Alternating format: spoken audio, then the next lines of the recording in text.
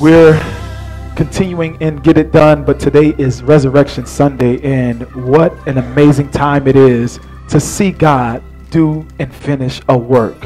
What other day can we really declare work being fully finished and done other than Resurrection Day? There is no day like resurrection. There is no day like resurrection. Let's let's go to the word John 19. Let's go to the word John 19. Today we're going to talk about what Jesus said. I'll give it to you at the end of these three scriptures. Let's do something different today that we normally don't do here. Let's stand for the reading of this word. I, I think it's at least befitting. Shout out to uh, Sister Mother Minister Rosetta from D.L. Wells who's with us today. God bless you, woman of God. Mother, I know you're from a little old school church. I mean, I am too. We used, to, we used to stand when they read the word. And I think since we're a little bit modern, we don't stand. So today we'll stand because he rose for us. How about that? Let's, let's at least do that. So we're at John chapter 19. Let's go ahead and put it on the screens as well.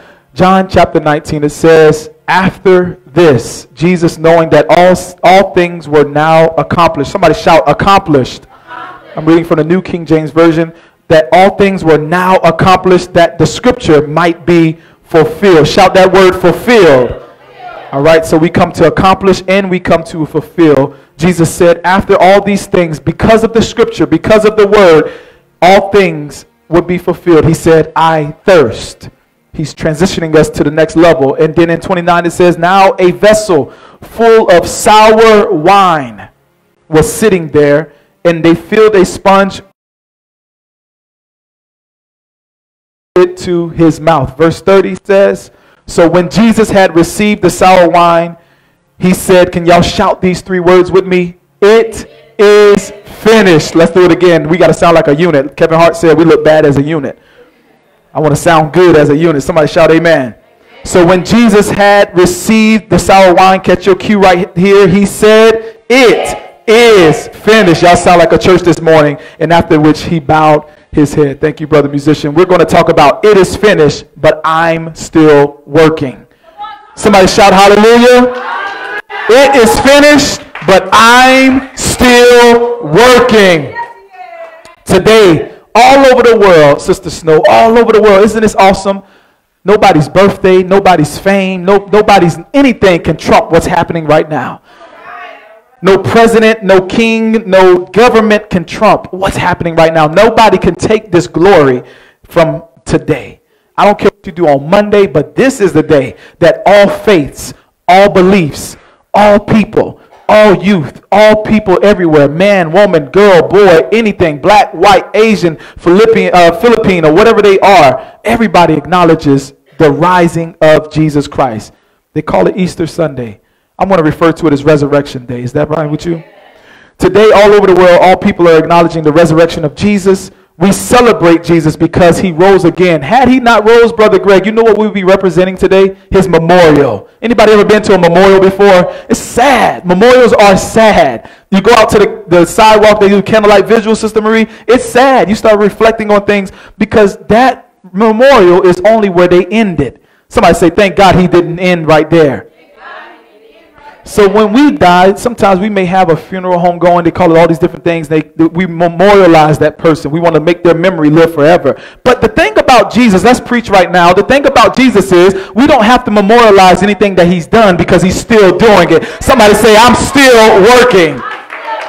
So we, we celebrate him because he rose again. Had he been defeated by death, we would be celebrating something that is not necessary today because we do this for everybody else. But Jesus is not like everybody else. Jesus was no ordinary death. Jesus was no ordinary life. Jesus is the everlasting life. Because he overcame the grave, our worship and our praise, Sister Destiny, has a purpose and a value. Did you hear what I just said? Our purpose and our praise has a value. You should be writing this down because many of us don't know the value of our shout. Many of us don't know the value of the clapping of our hands. Many of us, I'm trying to preach it to you right now like I feel it. Many of us don't know and value the intimate time with God. We, the, the young baby yesterday, Sister Amy, I hate to tell you, your baby, you was here when she told me. We was here.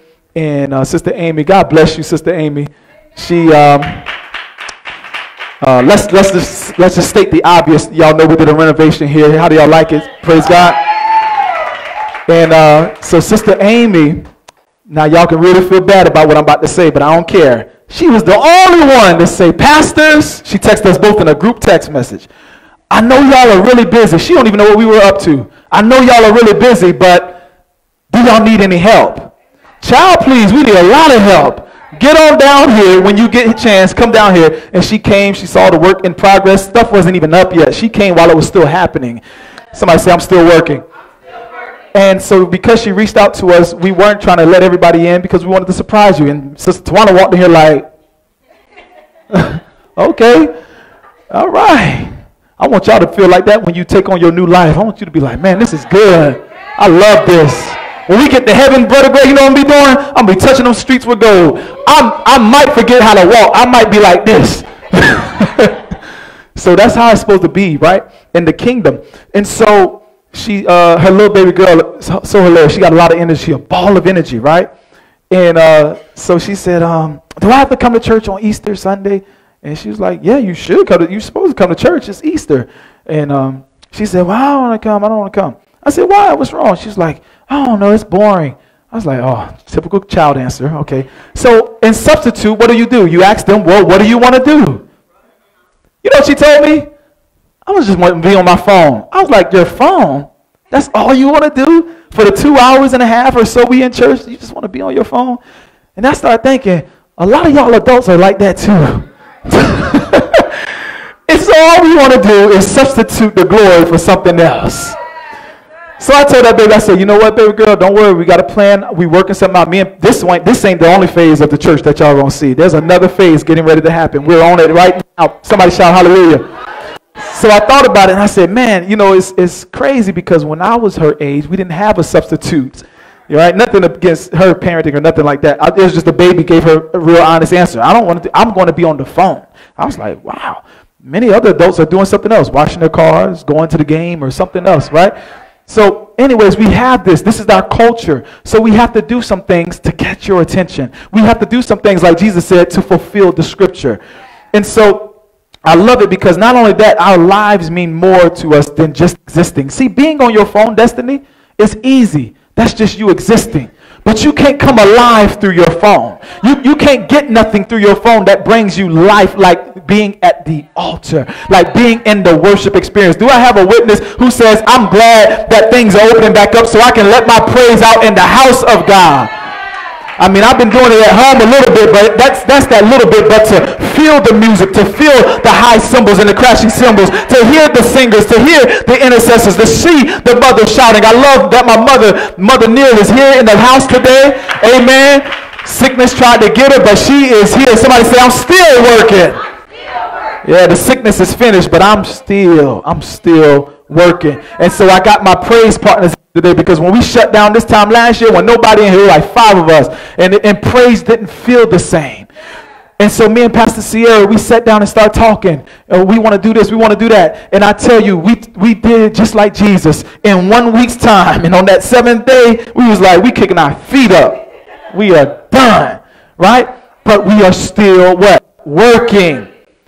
So Jesus did not give his life for us to just exist but for us to live. He says, I am come to give you life and life what? More abundantly. So if you are coming in this place and all you're doing is just existing, then you're truly not living the life that Christ has given you. He did not rise for you to just be alive. Everybody has that promise of life and death. But what do you do in between? You have to live. I can't just mope around. Come on, somebody shout hallelujah. I'm coming down your road in just a little bit. I can't just mope around like nothing ain't happening. The church, something is always happening at the church. Something is always happening at Walmart. Something is always happening at your school. Something is always happening on your job. Something is always happening. I love my sister, Sister Snow. I'm just testifying around the room as I go. Y'all don't mind me. I'm going to call you anyways. Amen.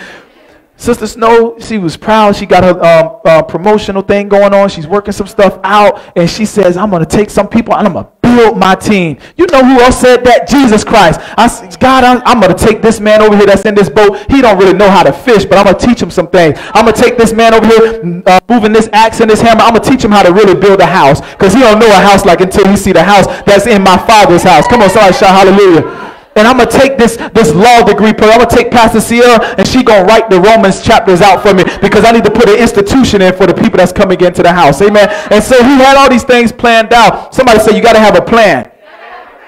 Let, us pause right there. Let's talk business real quick. Can we talk business? God bless you, our people in the back. God bless you. We we let's talk um let's talk business for a second. Sister Destiny, can I go to business class? I told Sister Amy, daughter. She's, she's doing media uh, with us. She joined the media team. We had an inaugural meeting yesterday, right?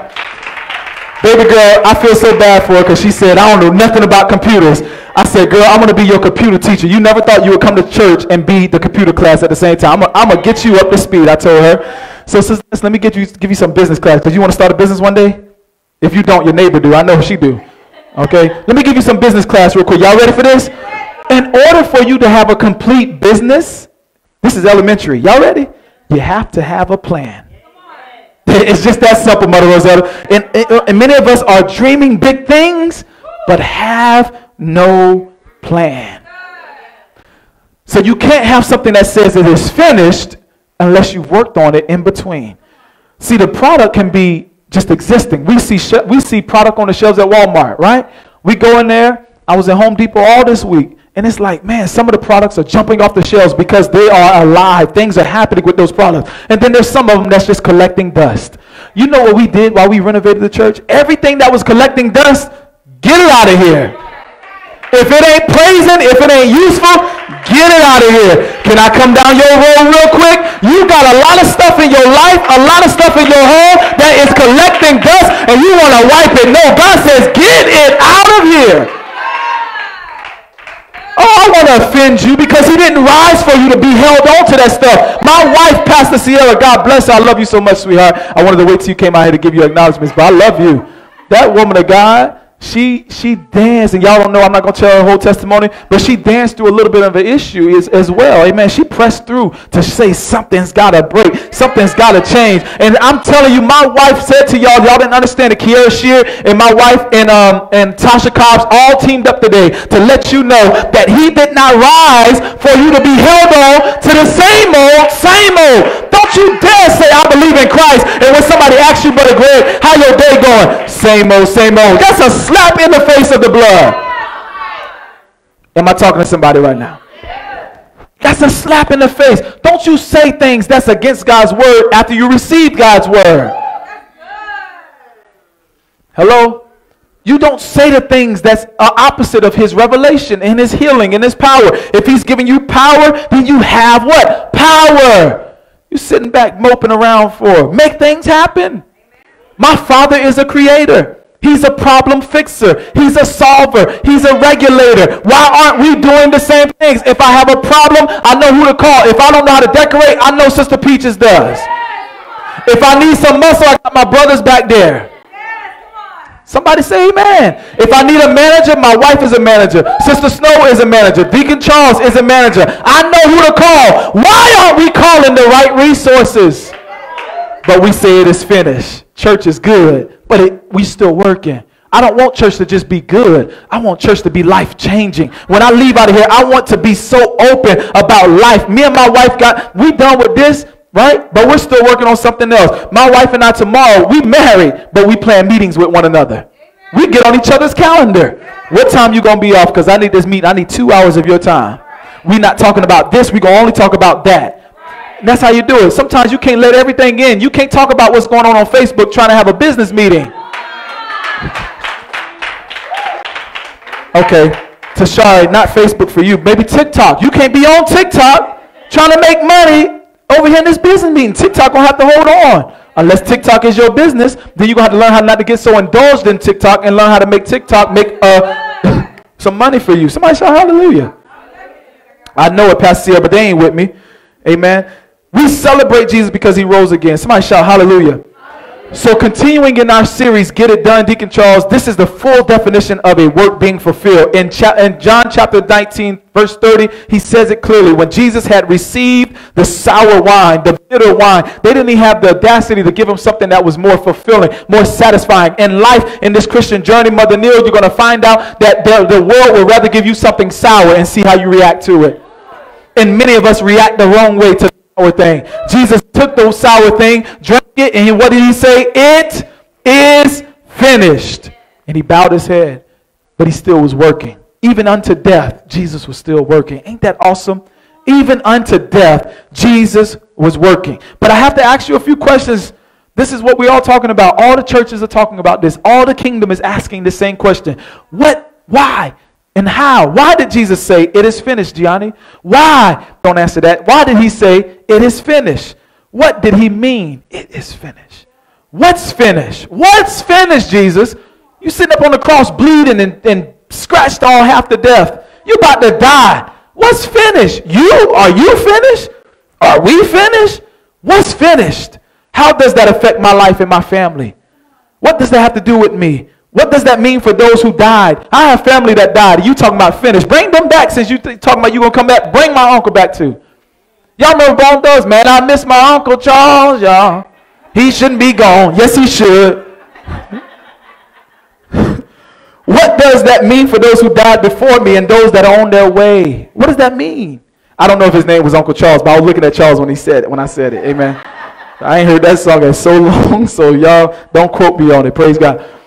There is so much context to these three words. It is finished. Sister Marie, there's so much context. Let me tell you what it is. The religious leaders in that day, the Sadducees and the Pharisees, y'all have heard me talk about these people before. You see them in the uh, New Testament all the time, giving Jesus trouble. They were giving him trouble because they were so worried, Mother Neil. They were more worried about what would happen to the law versus what Jesus was going to do to fulfill it. Jesus came on the scene and preaching. He said, I'm going to fulfill the law. I'm going to make it right. I'm going to bring it all together. I'm going to fulfill it. And they heard that saying, something's going to happen to our law. Something's going to change. That means if he changes things, we may not have the same power over you people. Okay, that one just went over your head because our government is doing the same thing even today.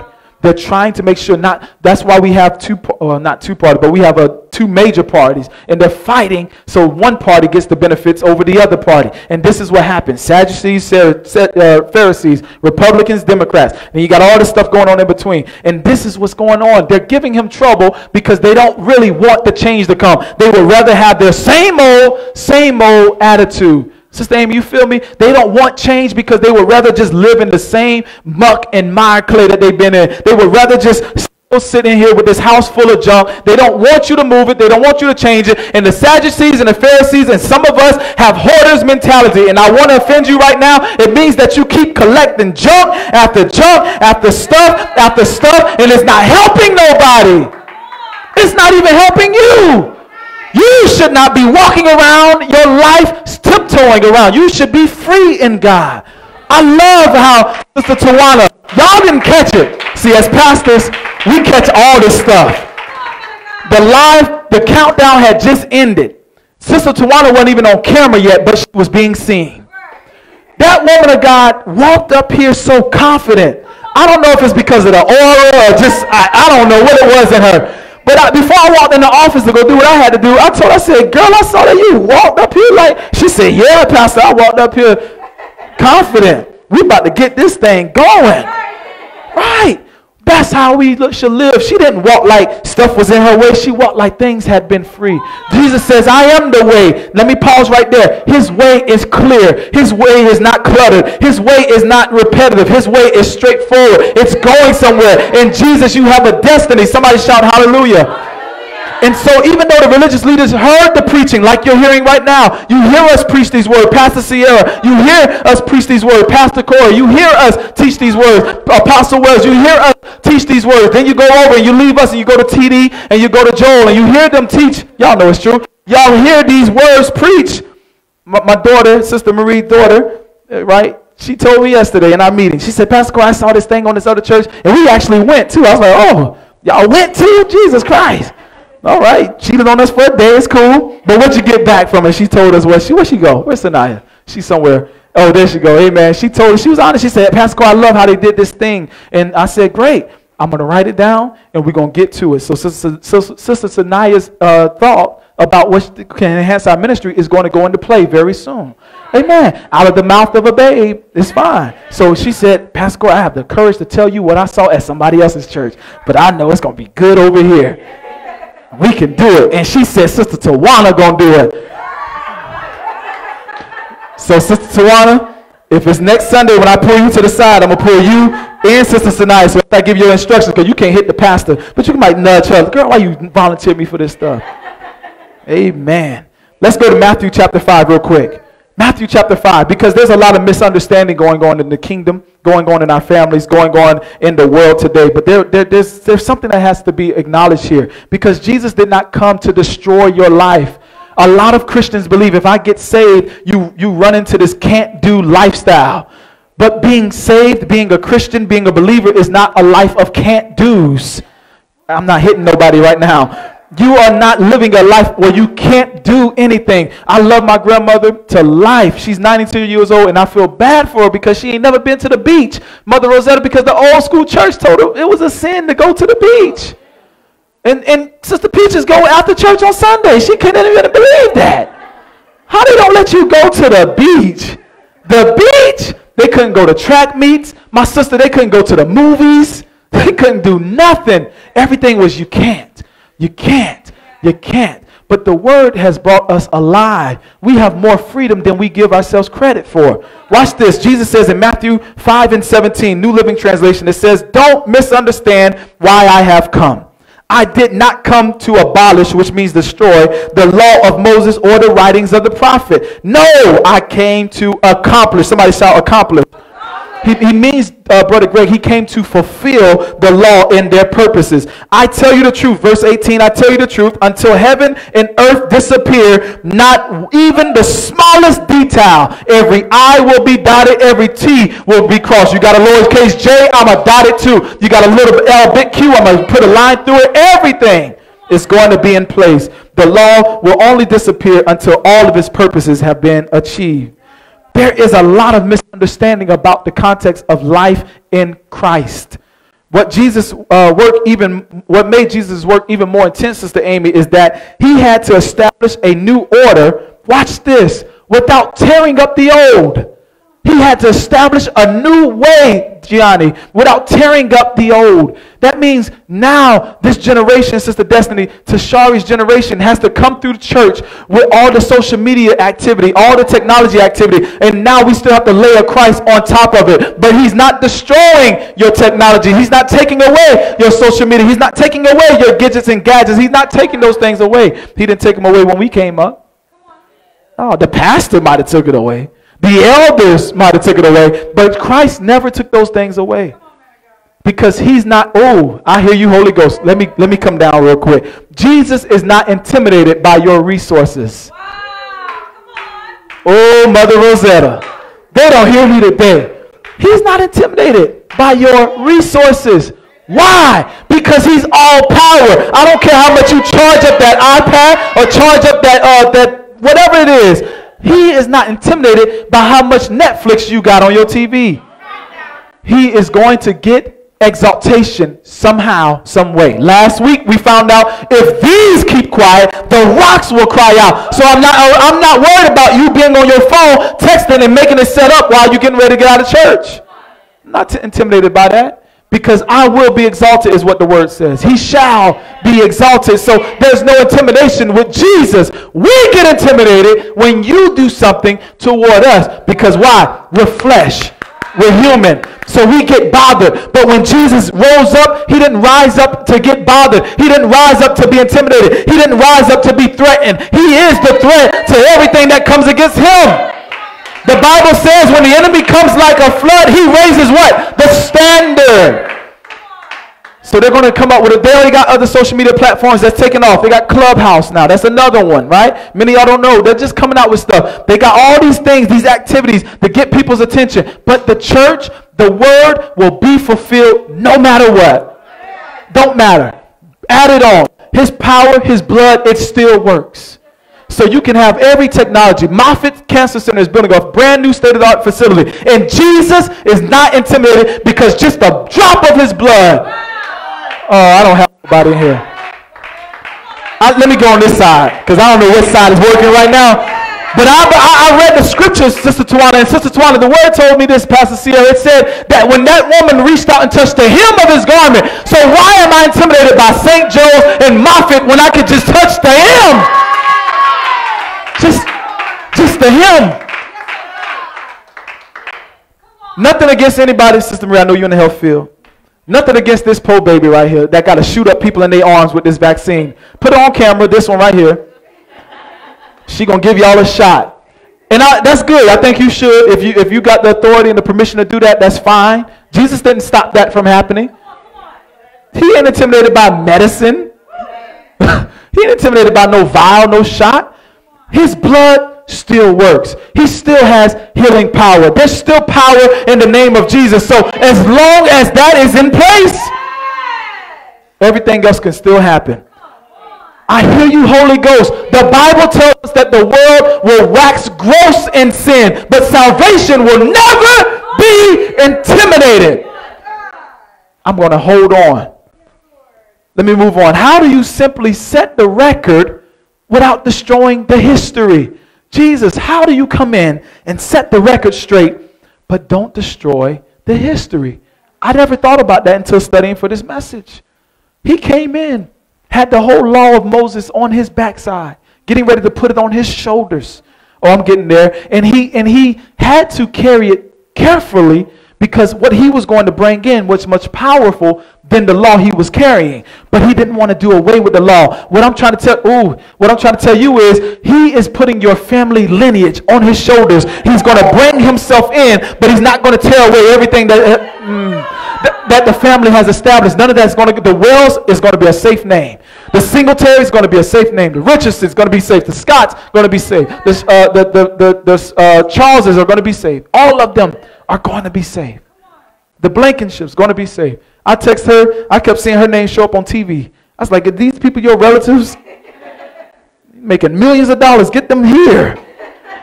Got some stuff we trying to do name on the ballot, name in the NFL. I'm like, Blankenship, I ain't heard that name until her. And now I see it all over the place. Girl, your name going somewhere. Better get connected. Amen. So, how do you set the record straight without destroying the history? One of America's, let's talk about our country. One of the worst attempts that America is having right now is they're trying to establish a new order. Y'all see it? They're trying to establish a new order, but they don't want to embrace their dark history. I have a message for America. You cannot, I'm sorry, sweetheart, you cannot set a new standard and, and neglect the history that you have upon yourself. No. No, no, no, no, no. Our people have suffered, and, and the world has suffered, and countries have suffered because of America, but we call it the greatest land uh, in the world, the greatest country in the world. Nobody is saying that outside of the U.S. That's just our opinion. That's just what we think about ourselves. And, and they say it as though everybody is thinking that. But when we travel, I'll be, I'll be watching out because I know other countries got some stuff that they want to do to American people. Oh, it's true. It is very true. And so I don't, I don't think that we're above anybody. I think that we need to get some stuff straight. And we need to have a real, a real conversation about what's happening and what has happened.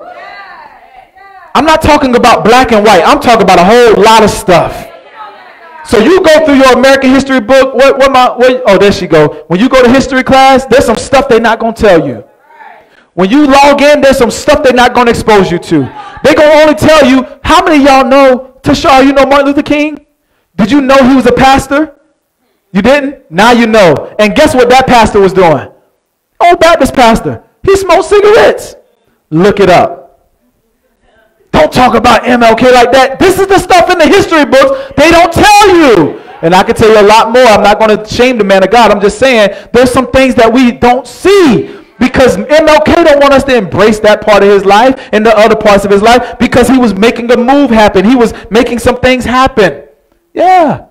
But we also have to stand and give our account. Job says, I'll still make my account known before God. Yet, though he slay me, I'm going to still give my account before him. I'm going to embrace the issues I'm going through. I'm going to embrace the dark history. I'm going to embrace the fact. I'm going to embrace all of it because you know why? It's part of my story. And it's also part of his story. And Jesus did not come to destroy any of it. Somebody shout hallelujah. So every secret you have, Deacon Charles, Sister Christina, Mother Neil, Sister, Sister Peaches, Sister Marie, Derek, my brother, right? Every secret that we have, Sister Amy, Sister Tawana, every secret we have, although you don't tell us, oh, you still have to embrace it on the day of judgment. I hate to tell you. We're still going to have to give an account for everything. And Jesus did not come to destroy all those things. He came to lift us from those things, heal us from them things. It was uncommon for a king and the highest official that was ruling to set his own set of policies and, and, and, do it was common for them to bring their own set of policies. Y'all see it we just went through an election cycle. So one comes in they set the new order and they begin to do away with everything that was old right? This is this is every four years. If we get a new one in four years they're going to do the same thing. Don't matter what party affiliation they have their own set of standards that they want to imply. And what happens is it was common for that to happen. But jesus is no ordinary king. Look at your neighbor say he's no ordinary king Jesus makes a strong declaration. He says, I did not come to destroy the law. The law is also referenced as the word of God to Shari. So he is not here to destroy the law or the words that were given by the prophets. He came, somebody shout, to fulfill it.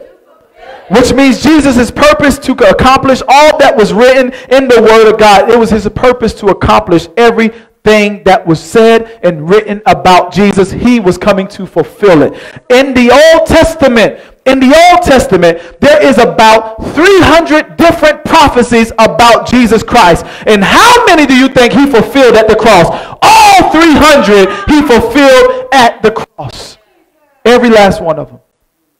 The thing we take for granted is that took the weight of the law and put it on his shoulder. You don't understand how much weight that is to take the weight of the law and put it on your shoulders. Donald Trump didn't have the audacity to do that. And Joe Biden certainly don't have the audacity to do that. And I know y'all love Obama, but he never could, never will. But Jesus Christ put the whole law up on his shoulders so we could find fulfillment Isaiah 9 and 6 says, For unto us a child is born, unto us a son is given, and the government, the government shall be upon his shoulders. That was a prophecy that at the cross he fulfilled it. Furthermore, Jesus has to also allow and follow all. I'm sorry. Furthermore, Jesus has to follow all and uphold all the holy standards of the law everything. He was a Jewish little boy. So he had to also adhere to the law, personally obey the strict requirements of the law, and fully satisfy the ceremonial observances. So if they were having any Jewish tradition, any festivity, any feast, he was going to acknowledge it, although he was the king himself. The most powerful thing we can gather here is this that Jesus was not only teaching these things, but he was doing these things. Jesus led by example, which is why Paul was wise enough to say, Follow me as I follow Christ, because Christ also knew how to follow, but he was a leader. He also knew how to follow. The most powerful thing we can understand is that we don't want a hypocritical leader. Oh my God, Pastor Sierra, they're not with me. They were good with bone thugs. Now they got this deep. Jesus Christ. We don't need to be following no hypocrites. Come on. Okay, let me get down y'all road real quick, Sister Twan. Let me step down here because the, the people that's following the hypocrites don't want to talk. So maybe it's you. Maybe you're the hypocrite. Maybe you're saying the things that you don't live by. Maybe, maybe, maybe you are a do as I say and not what I do type of parent. Maybe you're that type of wife. Maybe you're that type of husband. Maybe you're that type of child. Maybe you're the hypocrite. But the blood was shed for you too. Let me tell y'all something. I don't say that to make you feel bad. I was a hypocrite once before too. Before salvation, all of us was hypocrites. Let's just be honest with you. Oh, you said some things that you did not do. You you you lied on your interview. Sister Snow, don't let them fool you. That resume, child, please. They ain't do all that stuff. But they gonna walk in like Sister Tawana walked up here for worship. They gonna walk in. No, you don't know nothing about no Excel document. No, nothing about no PowerPoint. you, yeah, they got on YouTube five minutes before the interview. Oh, y'all stop. Charles, am I lying? That's what they do to you, don't they? Is that what you did to get your job? Don't answer that. joking, I'm joking. Listen, we all know what it is like, but Jesus because he never did that, we can now live this way. If you believe in God, then you have the power to overcome the things that were in your past. Amen. How many of you have a dark history, a dark past? You have some things that you don't want to share openly because those some of those things people would judge you by even if you told them you were delivered. Oh, I don't have a Christian, I don't have a saint in here. I told you I was delivered from it, but I'm sharing my testimony, you still holding me to it.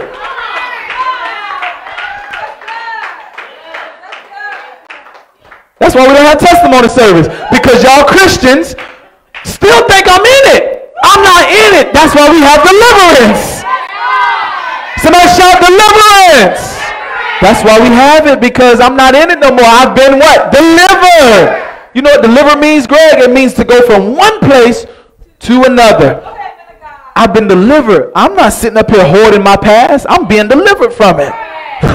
That's why I can share my testimony. I love this. The Lord gave me this last month. The worst parts of my story, Sister Christina, are the best parts of my testimony. The worst parts are the best parts of my testimony. Amen. Amen. And so, uh, Jesus heals and deals with the hypocrites. He deals with them. He sat with them. He ate with them. And they all went to the synagogue. They went to altar worship center too. They Oh, can I hit you? They serve on the media team. They sing on the praise and worship team. They do the announcements. They sit at the door and usher. They help clean the church. These same ones did all the work at the church. So don't feel like you left out. Because Jesus said with all of us 2,000 plus years ago. Before you was even born, Gianna, he was sitting with you. That's how powerful Jesus is. So here we see Jesus establishing the culture of the kingdom without falling into or destroying the culture of the land. Watch this. Jesus had to live a very precise, detailed life for us to have life more abundantly. Detailed, precise life for you to have your freedom's destiny. Listen, listen to what I'm saying. For you to have your freedom, I know you're smirking right now because you're thinking about all your little freedoms that you get away with. I want to tell you that Jesus had to live a very detailed life for you to get away with the things you get away with. Okay, maybe I'm not talking to you, so I'm gonna come over here because you you ain't you ain't reverencing God right now because somebody gonna tell me that they enjoy some freedoms that ain't in the scripture. But Jesus died for those too. So maybe, Mother Neil, maybe, maybe it's your freedoms I'm talking about that you get away with some things that, that, that that's not aligned with the, the scriptures. That's fine because Jesus died for those too. The problem with that is between Destiny and Mother Neil, we have to learn what his death really means and the value of it. I know I have these freedoms, but Paul says, I hear you, Holy Ghost. All things are lawful, but all things are not expedient. What does that mean, Destiny? It means that even though it is permissible, I don't have to do it. So now let me tiptoe down to my household where my wife seemed to think that every time we go out to eat, who knows my wife by now? What are we going to get, Sister Tawana? A shake. You hear them, Pastor Sierra? They all said it with me. I know Steak and Shake open. I know Sonics is open. Oh, and she loved to hit me with the cold stone. Oh my God. Derek, do you understand what I'm saying? It's, it's open, but I don't have to go in there. Is that a word right there? That's a whole nother sermon. It's, it's hard, it's tight, but it's right. I know it's open, I know it's available. I, I really want to walk down y'all road, but y'all might get offended. Somebody said, please. Okay. I know he's selling it, but I don't have to go buy it. I know they're serving it. I know they gave that last call, but I don't have to be at the bar. Y'all know how many restaurants we go to that all serve alcohol? All of them, most of them. And although it's acceptable, it's permissible, you're old enough, right? You've been waiting. How old are you? Jesus Christ. She done lost her mind. 22 years old. I remember my my drinking. Let me testify. My brother, what's your name? Derek. Derek. Okay, now I gotta call you fella. Derek, let me tell you, at 22 years old, my drinking, I had uh, what's the what's the school before um, Head Start they have? Is it like pre-K? I was a pre-K drinker. 21 was like third grade. By the time I got to 21, it was like third grade. I was well into it. I, pre, I was pre-K, then I was VPK, I was vacation Bible school and back, and I was elementary. By the time I hit 21, child, please, it was a done deal. I was I was well in it. Oh, y'all might not. T- you want me to turn this mic on so y'all can testify? Because y'all might not share y'all stuff. But by the time y'all got her age, you was in some stuff that that four year olds hadn't even done yet. Amen. But there's blood for you. There's, there's, there's a sacrifice for you. I'm saying all this to say, yes, that part of my life is finished destiny, but I am still working. And I'm not even talking about myself. The I am, Jesus Christ, the Lord God, the sovereign Father. He is the one that is continually working while I'm letting go of some things. The Bible says, even if I don't have the words to say, the Spirit makes an utterance for me. And so, even though I'm, I'm confused about how to say no to this man, I don't know how to say no to this woman, I'm caught up in some stuff. I've sent this text message and I'm not getting the reply, but I really want this reply. If you got an iPhone, you understand what that read receipt do. You be sitting there staring at it. It's on delivered and you just waiting on it to say read. And I've sent some prior to marriage. Somebody say hallelujah. Some text messages that were sitting on delivered that I was like this. Ooh, when they read this. Somebody say, yeah. Is this helping anybody? I'm saying all this so you don't feel bad about sitting in the atmosphere of the king because he sat in your atmosphere prior to your birth. Amen. I was a social smoker. I never smoked on my own. Like that wasn't something I did. But because the gang was doing it, my boys were doing it, right? We riding. I'm in Ohio. First time I've ever smoked the stuff from the earth, right? Because I ain't do the stuff off the counter. I was scared of that. But they had the stuff from the earth, Destiny. You know what I'm talking about? Okay. Fella, you know what I'm talking about? Yes, okay. I just want I just want some people to be real with me. I don't know. Uh, geez, thank you. Yeah, stop acting like y'all don't know what I'm talking about. Okay? Jesus. If you're afraid to embrace it, then don't sit on the front row. You ever been to a comedy show? I'm, I'm gonna call you. I'm sitting here looking at you. You chilling. You might be chilling too hard. Let me sit you up. You chilling way too hard. Sit up. Girl, you supposed to help her, Sister Marie. All right, Destiny, let's try it again. Let's try it again. Okay, let's try again. You know what I'm talking about? That's that's more see confident. Sister Tawana, teach this young lady how to be confident in her answer. Yeah, yeah. Yeah, Pastor, I know what you see if you would have been like, yeah, Pastor, I know what you're talking about, instead of like, all right. do You know what I'm saying? That's how you keep business out the streets, all right? Praise God. Just taught you another lesson. That's business. When you go to that interview, you know you don't know nothing about no Excel. But when Sister Snow asks you, you know how to do Excel? Yes, ma'am. And when you leave that interview, then you come to your pastor's house, Pastor Sierra, Pastor Corey. What's Excel? Okay. Sit down, baby. I'm to call Ariana because I know she don't know it either. So I'm going to get both of y'all together and do this all at once. Ain't that good? Amen. So the pastors become your, your computer class. Let me get back to the story. All I'm saying is when I was in Ohio, Sister Amy, I, I didn't have no intentions of smoking. Didn't really care to do it. That wasn't something I wanted to do. But because of my environment, because of the people I socialized with, because of the people I trusted, Sister Christina, the people that I, if I got too drunk and hungover, who I trusted to take care of me, my boys, My teammates. We're hitting each other throughout the week playing football. But at the end of the day, on the weekends, I'm trusting you that if anything go down, you got my back. So I feel safe to roll it up and smoke with you. I never even did that before. But somehow I found myself, Pastor Sierra, socially doing things that other people were doing that I had no desire to do. Let me walk back because y'all missed it. We find ourselves doing things socially because other people are doing it. I, I know I got a real one over here, so I don't even bother with you, Destiny. You know what I'm talking about, Sister Katanya? Yes, that's how you do it. You saw what she did? Because we do things socially that we don't desire because other people are doing it. It's cool. It seems okay. But you don't know in the long run what it is holding you from. What is it keeping you from? I don't want to be no social butterfly flying all over the place with no destiny. I want to be like an eagle. Mount up with wings. Eagles have places to go. Eagles are very decisive. Eagle, is there an eagle in this place? Am I helping you right now? I got to hurry up because Pastor Sierra got reservations for us. So listen, I need to know if you are able to still acknowledge Christ, acknowledge your freedoms, and make a choice. Mother Neil, the other week I preached about Jesus in Gethsemane.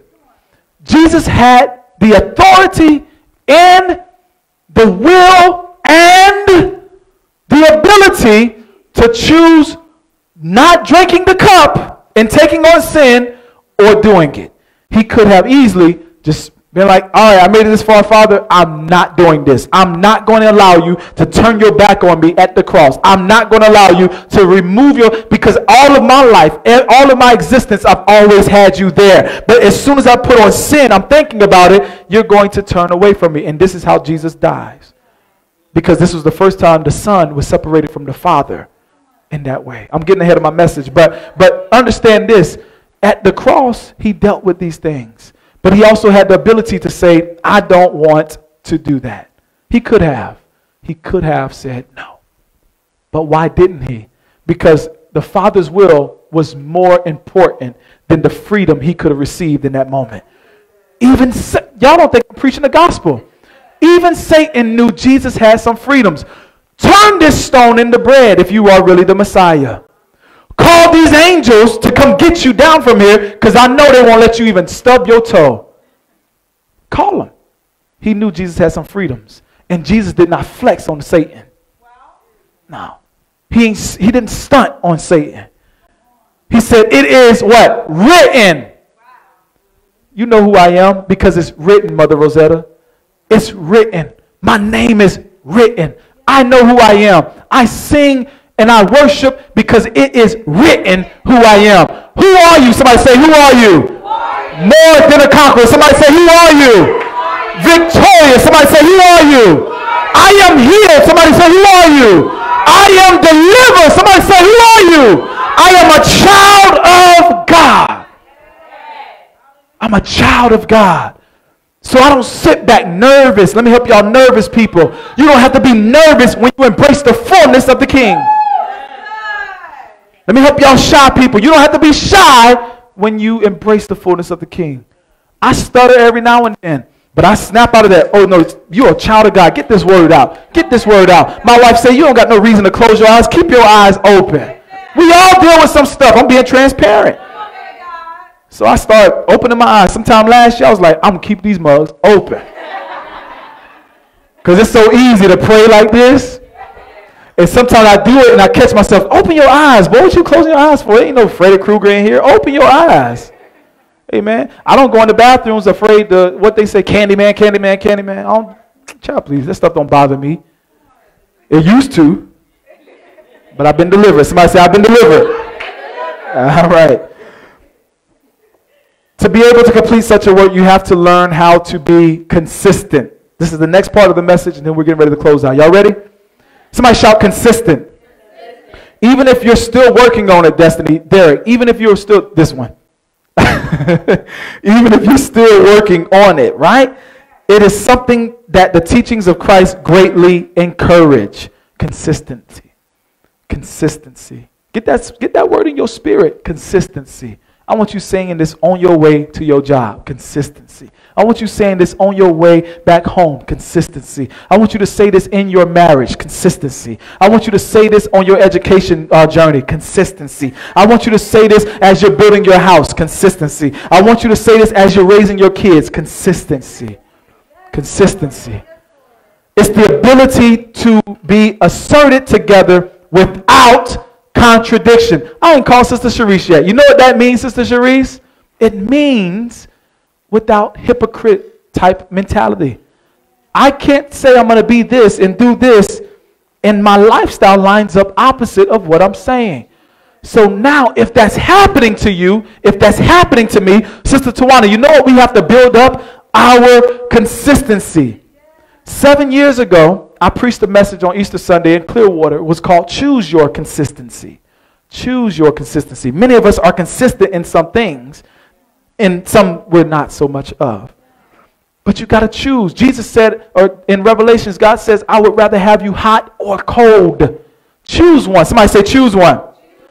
So it means to have harmony and consistency. It means to be steady continuation. It means that the things that are happening are consistently moving. The body of Christ cannot be stopped. It has to consistently be moved. Amen. It is not wavering between different parts. First Corinthians 15 and 58. Watch this. 15 and 58 says, Therefore, my beloved brethren, be what? Steadfast, immovable. Shout this A word for me.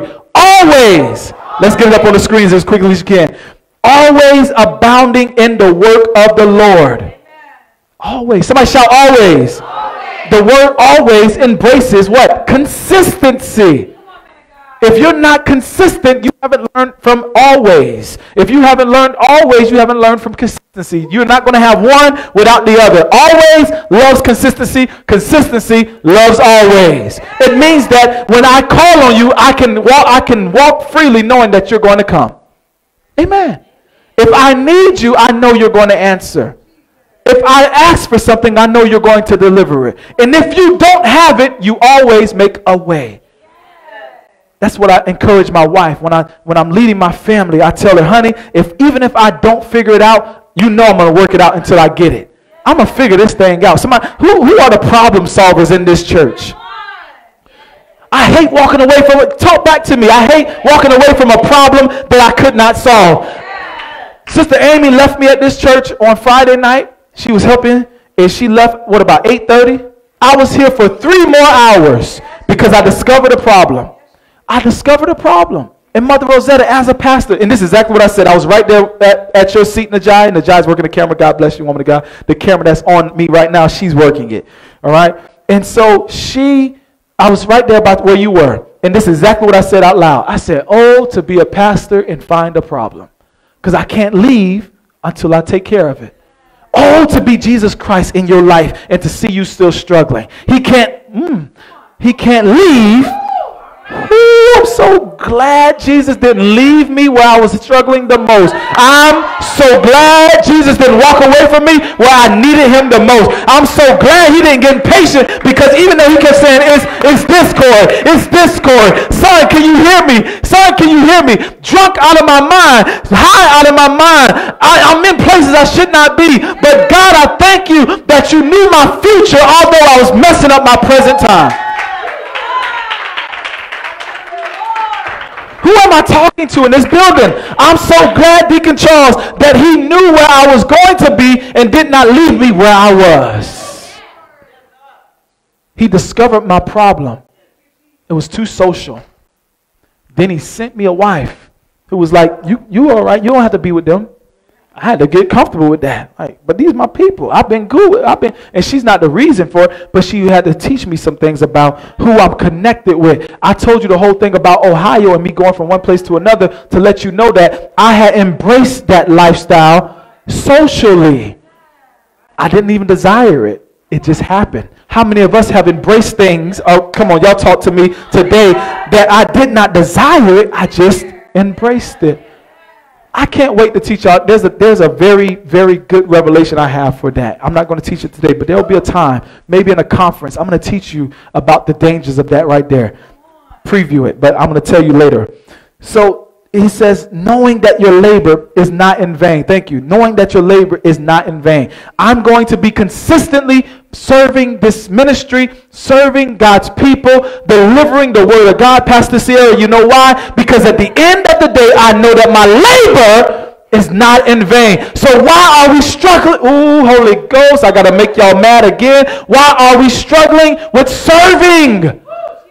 With principle of just serving, Sister Sanaya, we're struggling. We're struggling because it takes too much out of your day. It takes too much out of your account. It takes so much after your energy. And, and I'm not struggling with it because I'm hurting. I'm tired. I'm paying. I'm sowing. I'm working. I'm serving. And I'm tired. I told my media team, I'm trying to get completely off to where y'all got it. I don't want to touch it. We getting there. Thank God for my, my, my baby girl up here. Amen. She's working with us. And so I love it because at the end of the day, all of this, it says it's not in vain, but not only that, in the Lord. My works in the Lord cannot be in vain. The, the true works, Gianni, in the Lord are not in vain. The true works. There's some works that we say are God given that were really your thoughts. I, I, got two that understand what I'm talking about. There's some things that we say that God told me to do this, and after this has been established, it's a train wreck. It's a train wreck. Who am I talking to?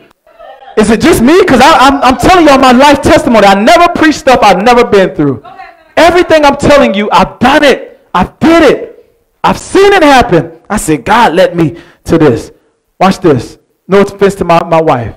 Relationships. I thought God sent me to that woman. And at the end of the relationship, it was a train wreck. It was a mess. There was no peace. If it's God, it's peaceful. You might have to help me out, Deep.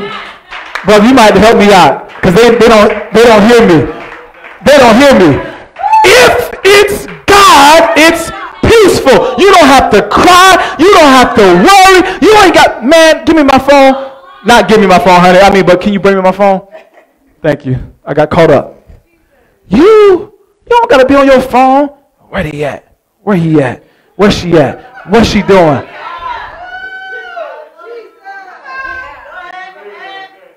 D, can you come here real quick? I know you. I hope you're not too sore. I need you to lay right here. I need you to just lay right there. Lay right there. This is what the people of God doing. This is a shame. Just yeah, lay down like you sleep. Good. Right? This is a shame. Woman of God, why are you sitting next to this man?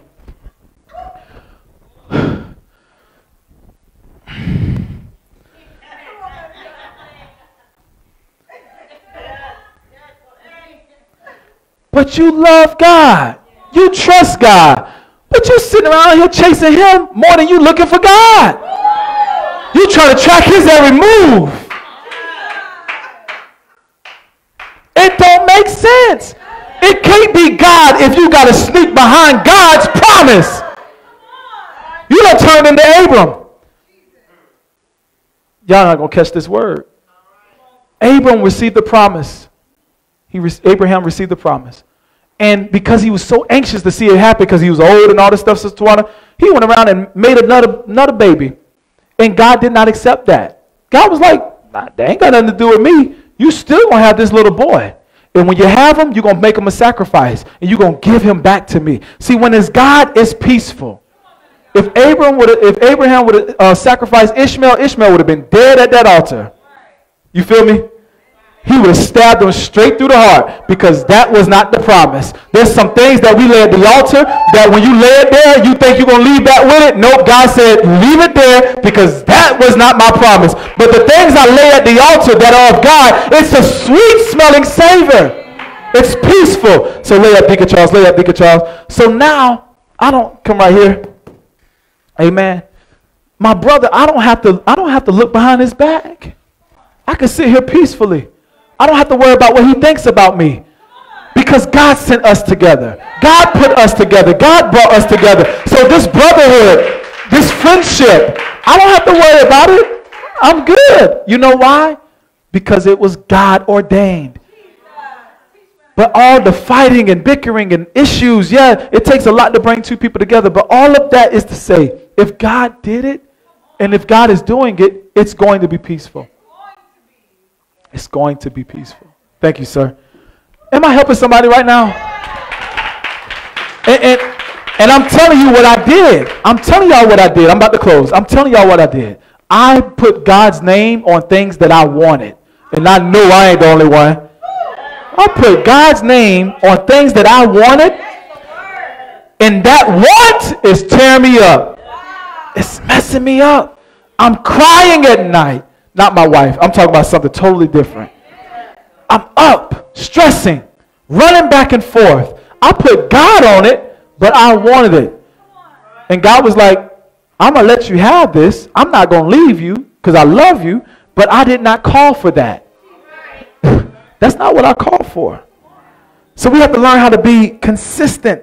We, as believers who follow Christ, and we are God's children, we are not weak because we embrace the gospel. I'm not weak because I embrace the gospel.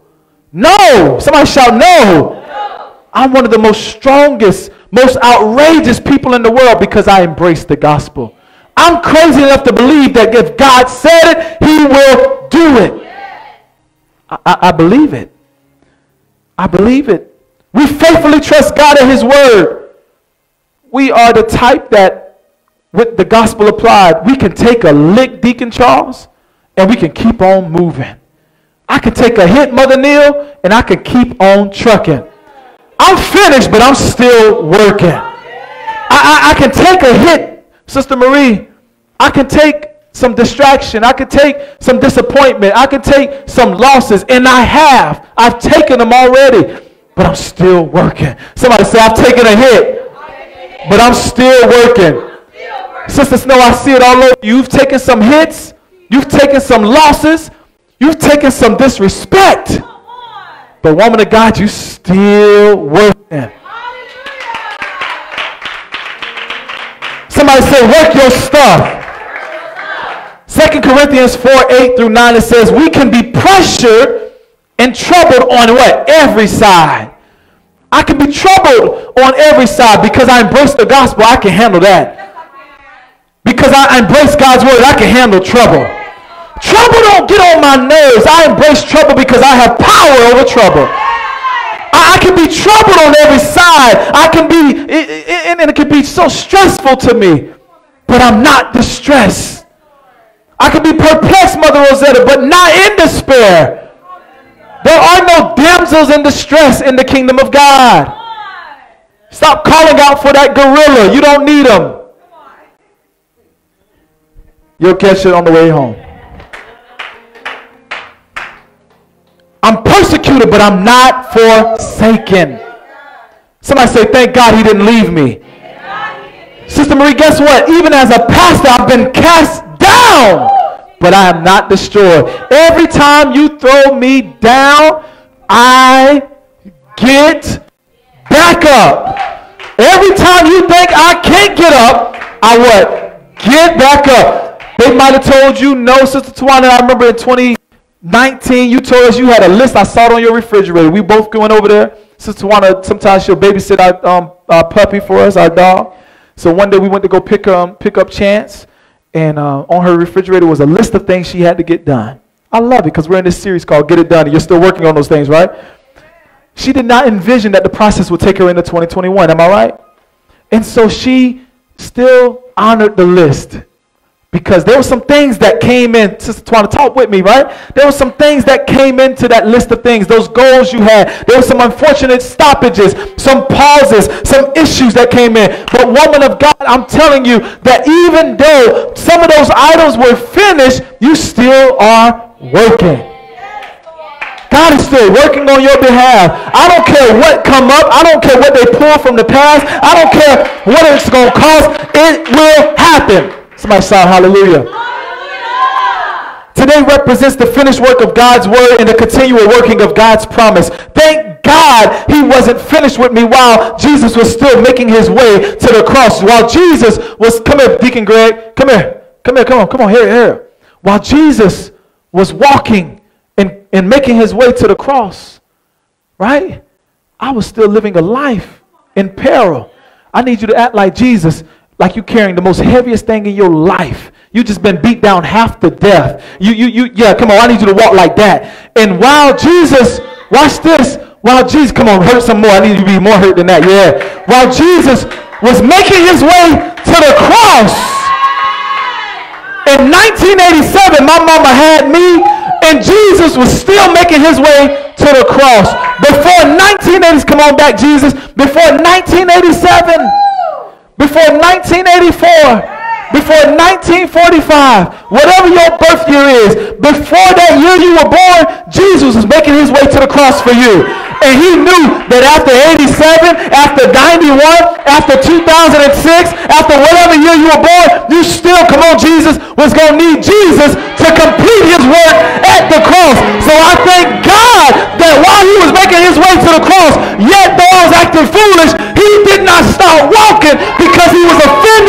Lifestyle. Do you hear what I'm saying to you?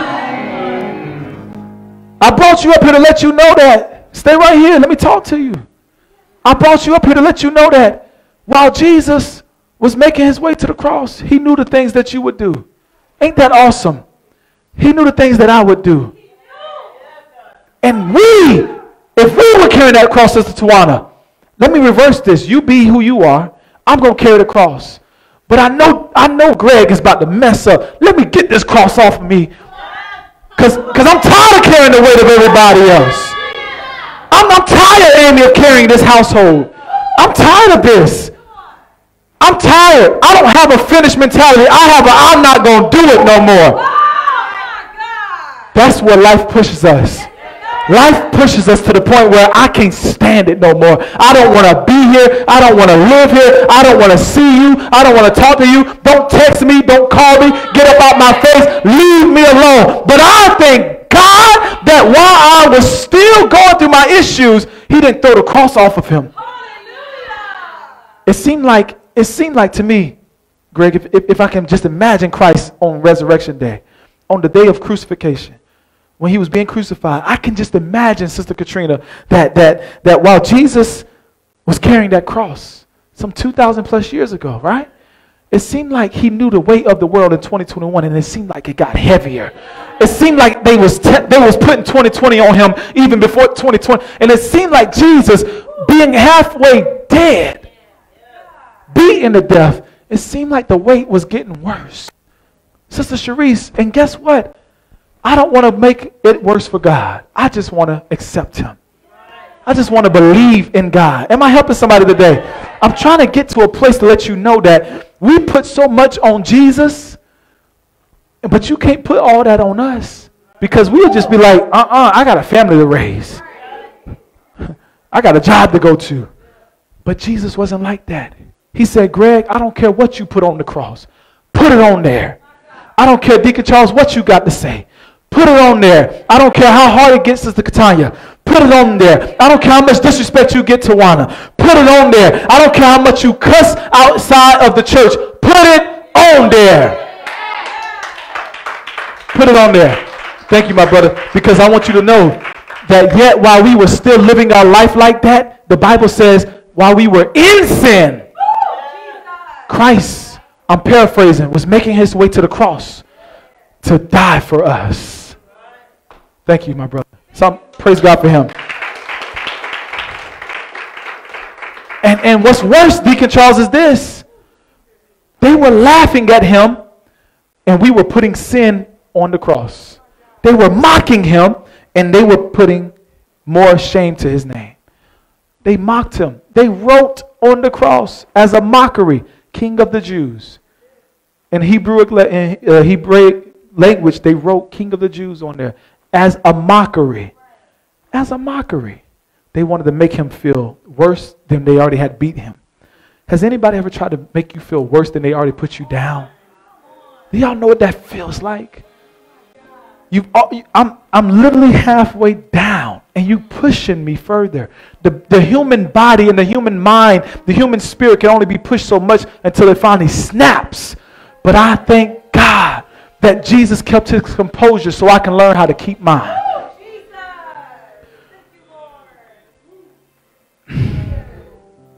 Being on the cross and still working to fulfill God's word. He was on the cross, my brother, but he was still working to fulfill God's will. He was hurting. He was still a man and all God as they nailed him on the cross. But we're getting ready to get to a place where God looked at his son and all the sins of Rosetta, Amy, Marie, Destiny, Derek, Derek, Tawana, Katanya, Sierra, Gianni, Mother Neil, Christina, Katrina, yeah, Sharice, all of us, as he was on that cross, we were the reason that God says, I must separate myself from you for a moment so you can complete this purpose. We all were that reason. And I'm not saying that as a blame. I'm not blaming us for anything.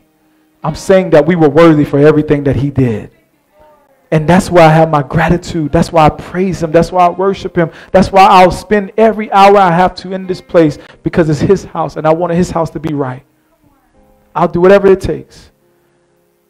He said, It is finished. Jesus gave up the ghost. He did not die by accident, he died on purpose. He gave up the ghost. He said, It is finished.